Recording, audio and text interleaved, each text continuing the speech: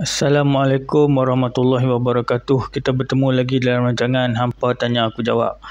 Okey, uh, hari ini saya just nak sembang santai je lah.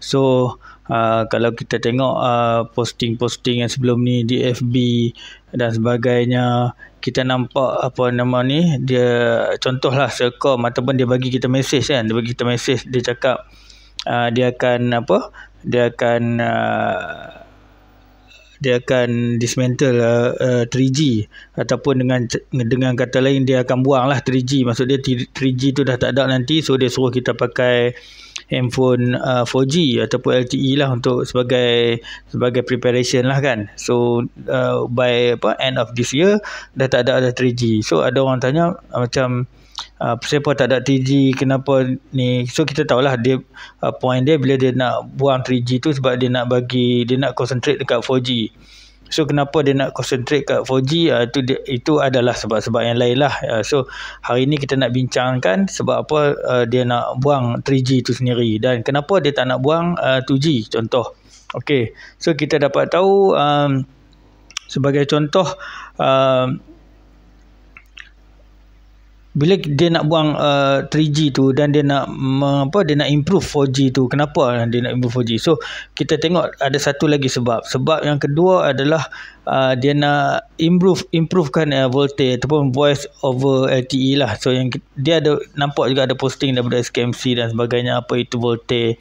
So voltage adalah voice over LTE ataupun dengan kata lain uh, voice melalui menggunakan LTE lah. So kalau kita tahu sebelum ni uh, voice Uh, dia asing kan. Untuk 2G tu kan voice tu dia 2G saja. Bila masuk 3G voice tu dia uh, dia combine dengan 3G melalui data dan lepas tu seterusnya dengan uh, 4G lah. So apa yang dia nak bagi tahu uh, voice over LTE ini? So kita cuba kita adalah satu teknologi macam sebelum ni voice dia bagi priority dekat uh, 3G kan uh, ataupun 2G so kalau kita perasan sebelum ni handphone kita kalau ada orang call kita tengah online contoh uh, kita tengah tethering lah ataupun uh, hotspot dengan komputer dekat situ kita boleh perasan.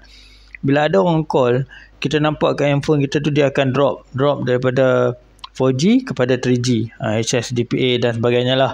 So kenapa dia drop? Sebab uh, bila voice masuk dia terpaksa downgrade kan uh, ke 3G sebab uh, 4G 4G hanya concentrate untuk data je untuk high speed data kan. So dia so uh, bila kita nak buat improvement kita that's why dia orang buat uh, Volte ni lah voice over LTE so dia nak masukkan sekali voice tu dalam 4G so bila dia masukkan voice dalam 4G tu maksud dia macam ada dua lah.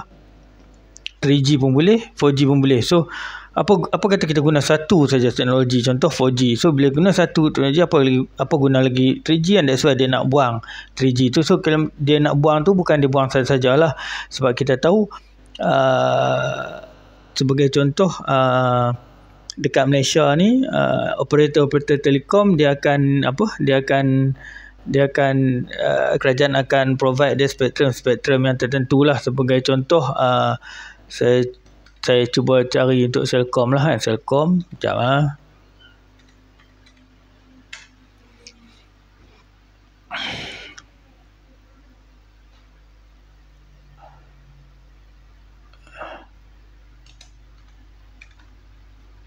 Okey, so kalau kita kata Selcom, sebagai contoh Selcom lah, saya tak nak cerita pasal company lain kan. Sebab Selcom yang ada hantar mesej tu kan. Okey, kalau Selcom, dia ada uh, beberapa frekuensi yang dah diberi untuk dia lah, beberapa spektrum. Contoh, uh, apa nama?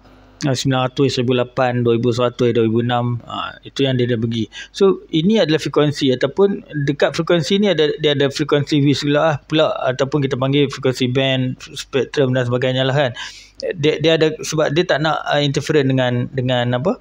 Dengan dengan yang lain. Uh, contoh uh, kalau kita tengok kat DG dia pakai frekuensi lain juga. Walaupun uh, hakikatnya kita kata uh, frekuensi tu masih 900 MHz contoh kita sebut uh, frekuensi 900 MHz so DG pun pakai 900 MHz Maxis pun pakai. Tapi dia punya spektrum yang dia bagi tu tak sama. Lain. Dalam 900 tu ada spektrum-spektrum dia tertentu lah so sebagai contoh Celcom uh, dia bagi uh, 890 MHz hingga 900 MHz untuk uh, uh, uplink dan 935 hingga 945 untuk downlink. So sebagai contoh ini frekuensi yang ditetapkan oleh MCMC. So kalau kita tengok frekuensi width dia tu macam berapa adalah 2 2 kali 10 10 MHz lah. 10 MHz saja diperuntukkan untuk 900 uh, MHz tadi daripada 900 MHz tadi. So 2 tu dekat 2 2 dekat 890 hingga 900 uh, sorry, sorry satu dekat 890 hingga 900 dan satu lagi dekat 935 hingga 945 lah. Itu frekuensi tapi dia ada protokol dia ataupun teknologi yang dia pakai. So dalam 900 ni dia pakai teknologi apa? Teknologi yang dia pakai sekarang adalah uh, H ataupun uh, uh, 2G lah H kan 2.5G, HSPA ataupun 3G dan LTE ataupun 4G. So dia ada tiga. So dia nak kekalkan yang 2G ni H ni dia nak kekalkan sebab uh, 2G ni kita tahulah dia yang paling basic kan. Dia paling basic. So at least kalau orang nak buat call tu still ada lah 2G tu dan kalau kita macam kalau boleh je nak buang tapi uh, disebabkan ada benda-benda yang masih uh, uh, priority dalam tu contoh macam kita nak minta TAC that, that's why kalau kita tengok TAC sekarang ni dia dah uh, bertukar daripada TAC kepada apa satu lagi saya pun dah lupa lah yang yang apa auto approve tu kan kalau pakai apps Maybank to you kan ha. so dia ada dua pilihan kan so kalau TXC tu dia pakai 2G lah dia hantar message dan mungkin orang-orang kampung dan sebagainya pakai handphone 2G ha. so dia mungkin sebab tu lah nah, tapi kalau kita tengok negara lain ada yang dia dah buang dah 2G ada juga ha. so uh, dalam konteks sekarang ni kita nak cerita tentang uh, bagaimana dia nak buang 3G tu so 3G tu yang kita kata tadi dia kongsi tiga apa tiga teknologi so daripada tiga teknologi tu dia ada kapasiti uh, frekuensi width dia ada 2 kali 10 MHz kan. 2 2 kiri, 2 kanan kan. 2 uplink, 2 downlink bagi contoh. Uh, sorry, satu downlink 10 10 MHz untuk downlink, 10 MHz untuk uplink macam itulah. So apa yang dia buang tu 3G tu adalah frekuensi saja kan. So teknologi tu dia masih ada. So maksud dia teknologi uh, sorry tekno, yang dibuang tu teknologi frekuensi masih ada. Teknologi 3G dia buang. So bila teknologi 3G dia buang so dalam frekuensi uh, spektrum dia tu ada satu kekosongan untuk dimasukkan. So benda yang kosong tu lah dia gunakan balik untuk LTE. Untuk LTE untuk apa? Untuk kegunaan uh, 4G lah ataupun penggunaan LTE untuk penggunaan voice VoLTE, voice over LTE. So saya rasa penerangan saya tu uh, paling simple lah saya boleh cuba ni saya tak nak cerita terlampau uh, apa detail sebab just nak bagi orang awam sebagai contoh tahulah kenapa dia uh, buang 3G dan satu lagi uh, apa itu voice over LTE ataupun uh, VoLTE so uh, kalau kita tengok sebelum ni uh, dia boleh cakap kat sini uh, VoLTE ni dia cakap voice over long term ni saya ambil daripada wiki saja. So semua selalu saya ambil daripada wiki lah. daripada situ baru boleh study uh, lebih lanjut lah. Untuk bacaan umum better dekat wiki je.